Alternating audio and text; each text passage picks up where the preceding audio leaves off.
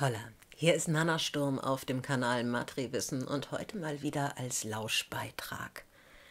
Ich möchte euch heute gerne die weibliche philosophische Gemeinschaft Diotima vorstellen und viele Informationen rund um diese Philosophinnengemeinschaft finden sich auf der Seite von Antje Schrupp, antjeschrupp.com. Ich verlinke euch das auch unten.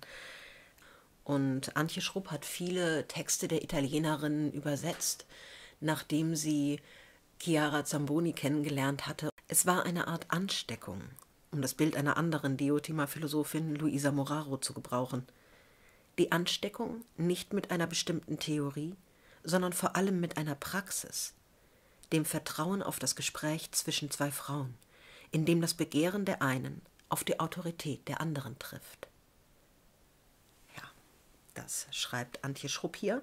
Und für mich ist einer der ganz entscheidenden Sätze dieser Mailänder Philosophinnen, wenn Frauen sich auf Frauen beziehen, verändern sie die Welt.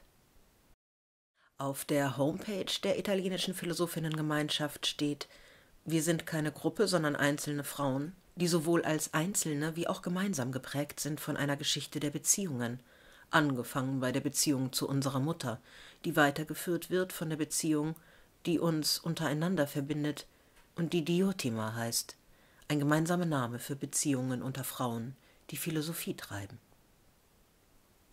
Diotima hat sich im Jahr 1984 als weibliche Diskussions- und Forschungsgemeinschaft in Verona gegründet. Also den Kern bilden etwa 10 bis 15 Frauen, die treffen sich einmal im Monat und sie veranstalten große Seminare, bei denen regelmäßig Bücher hervorgehen und Frauen aus ganz Italien und aus dem Ausland hinzukommen. Und gemeinsamer Wunsch dabei war es von Anfang an, so Chiara Zamboni, die neben Luisa Muraro und Adriana Cavarero eine der Gründerinnen von Diotima ist, auf eine Weise Philosophie zu machen, die dem eigenen Frausein treu bleibt, die Frage der weiblichen Differenz einführt und sie immer offen hält. Dies wird auch im Namen deutlich – Diotima hieß eine weise Frau aus dem antiken Griechenland, von der Sokrates in Platons Gastmahl sagt, sie habe ihn das Wesen der Liebe gelehrt, die aber weder bei diesem Gastmahl von Männern noch in anderen antiken Quellen anwesend ist, ebenso wenig wie die weibliche Differenz in der männlichen Philosophiegeschichte. Und Antje Schrupp beschreibt, was die Veroneser Philosophinnengemeinschaft von anderen politischen Gruppen unterscheidet – Sie sagt, das ist die Abwesenheit von festen Strukturen. Es gibt keine formale Mitgliedschaft, kein gemeinsames Programm, keine für alle verbindlichen Regeln. Diotima ist keine Gruppe, der eine beitreten könnte, sondern es ist eine Aktivität. Fare Diotima, Diotima machen. Zugehörigkeit konstituiert sich über die duale Beziehung, also die persönliche Beziehung zu einer oder einigen Frauen, aus denen dann immer wieder konkrete Projekte, Begegnungen, Veranstaltungen hervorgehen können. Auf diese Weise hat sich das Diotima-Machen weit über die Grenzen Italiens hinaus ausgebreitet. Es bestehen intensive Kontakte nach Frankreich, Spanien, in die USA und auch nach Deutschland. Und ich muss sagen, dass noch bevor ich ähm, Texte von dieser Philosophinnengemeinschaft gelesen habe oder da mich wirklich mit beschäftigt habe, noch bevor ich den Begriff des Affidamento kannte, habe ich doch angefangen, mich in dieser Art und Weise zu verhalten. Also das Affidamento geht zurück auf Affidarse, also sich anvertrauen, ja, und Antje Schrupp beschreibt, immer dann, wenn eine Frau sich mit ihrem Begehren der Autorität einer anderen Frau anvertraut, wenn also das Begehren einer Frau mit Hilfe der Vermittlung einer anderen, die ein Mehr hat und die deshalb mit Autorität spricht, einen Weg in die Welt findet, dann ist eine Frau frei, in der Welt zu handeln. Und mein persönliches Leben, mein In der Welt sein, hat sich wirklich sehr verändert, seit ich mich bewusst auf Frauen beziehe. Ich merke, wie das wirklich mein, mein Denken, mein Fühlen umstrukturiert. Und ich habe das Gefühl, dass genau da eine ganz große Kraft liegt. Nicht gegen etwas sein, sondern einfach etwas Neues schaffen. Und während das Neue bereits entsteht, kann eine dann spüren, wie so nach und nach die alten Strukturen sich auflösen, verflüssigen, abplatzen. ja. Antje Schrupp schreibt, dass die Beziehungen zwischen Frauen die Grundlage für weibliche Freiheit sind, war bereits ein Grundgedanke der Frauenbewegung der 70er Jahre. Unerhört war etwa die Praxis der Separation, also dass Frauen sich untereinander und ohne Männer über ihre Wünsche, Selbstbilder und Vorstellungen austauschten, unter dem Stichwort Consciousness Raising, Selbstbewusstsein entwickeln, fanden sie heraus, dass der Vergleich mit den Männern oder die Abarbeitung an männlichen Bildern nicht förderlich ist. Da will ich auch gerne nochmal einhaken, weil ich das ganz oft habe, wenn ich mit Männern rede, dass die von der Vorstellung, also wenn man jetzt auch bei Konsensentscheidung, Irokesenliga, ihr habt es hoffentlich hier gesehen mit Anna Pixner, da gibt es eine, schöne Sendung zu. Ähm, und da sind die Frauenräte und die Männerräte, die erstmal jeder für sich halt ihre Sichtweise beleben. Und dann geht es natürlich zusammen und dann wird eine gemeinsame Entscheidung gefunden. Aber ich erlebe das, wenn man da mit Männern drüber redet, dass die dann sowas sagen wie, ach ja, jetzt schon wieder irgendwas getrennt und so und da geht das nicht mal zusammen und so. Und ich denke, nee, geht zusammen, aber erst im zweiten Schritt. So. Der erste Schritt ist, dass wir Frauen uns den Raum geben, dass wir unter uns erstmal herausfinden, was wollen wir eigentlich? Was sind unsere wirklichen Bedürfnisse, Wünsche? Ich erzähle euch hier nochmal ein bisschen was weiter aus einem Vortrag, den Antje Schrupp im August 2005 beim Beginentreffen in Bielefeld erstmals gehalten hat. Überschrift des Artikels ist Affidamento oder Warum und wann Beziehungen zwischen Frauen die Grundlage weiblicher Freiheit sind. Sie schreibt die italienischen Philosophinnen waren die ersten, die sich deutlich vom Ideal der Gleichheit, sowohl der Frauen mit den Männern als auch der Frauen untereinander, distanziert haben. Sie lehnten seit den 80er Jahren zunächst den Emanzipationsfeminismus ab, der sich zum Ziel die Gleichheit von Frauen mit den Männern gesetzt hat, weibliche Freiheit also in Analogie zur männlichen Freiheit verstand und versuchte, sie mit politischen Programmen wie Quotenregelungen und Frauenförderplänen durchzusetzen. Nicht glauben, Rechte zu haben, ist der eigentliche Titel ihres Buches, das in der deutschen Übersetzung Wie weibliche Freiheit entsteht heißt.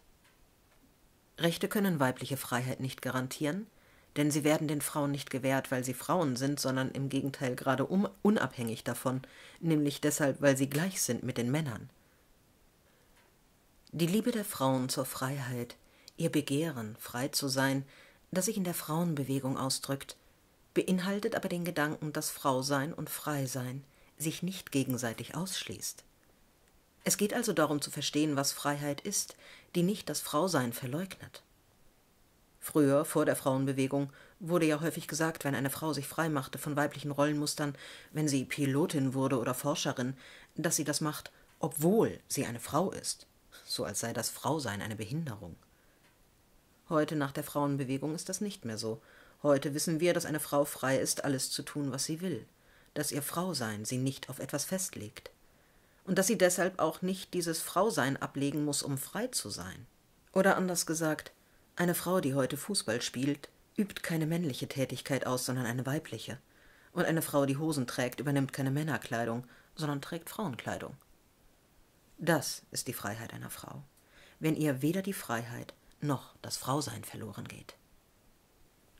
Damit aber sind wir bei der Bedeutung der Differenz. Weibliche Freiheit bedeutet eben gerade auch die Freiheit, sich aktiv von anderen Frauen zu unterscheiden. Etwas anderes zu tun, als die Mehrheit der Frauen für richtig hält.